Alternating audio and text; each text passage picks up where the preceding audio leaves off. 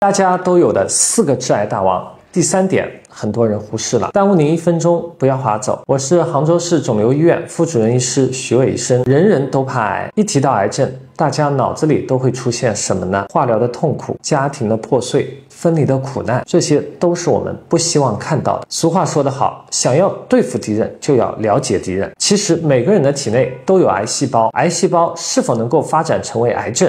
与我们的生活习惯、健康习惯、饮食习惯等等都是密切相关的，所以做好癌症的预防是我们每个人、每个家庭的首要任务。今天我告诉大家，生活中常见的四大致癌大王，要想不得癌，多看几遍。一、吸烟环境，香烟是一级致癌物。百分之八十的肺癌跟吸烟有关，包括一手烟、二手烟。如果你有肺结节或者肺癌的家族史，一定要减少接触吸烟的这个环境。二、长期过量的饮酒，很多人认为适当的饮酒有益健康，实际上。这是错误的，酒精也是一级致癌物。长期过量的饮酒，在体内的致癌性遍布全身，从口腔癌、食管癌、乳腺癌、甲状腺癌、肝癌以及胃癌等等。第三就是亚硝酸盐，亚硝酸盐是一种常见的致癌物质。它通常存在于腌制的食品中，比如说腌肉、腌鱼等等。亚硝酸盐在体内，它会转化成亚硝酸胺，这种物质对于人体的 DNA 会造成损害，从而增加我们患癌的风险。第四个就是黄曲霉素，霉变的食物再心疼也要抓紧的扔掉，否则会增加肝癌的发病风险。很多人说高温能杀死死细菌，发霉的食物蒸煮一下或者油炸一下不就行了吗？大错特错。研究显示，黄曲霉素在二百八十度的时候才能够被破坏，而咱们日常烹饪的温度远远达不到。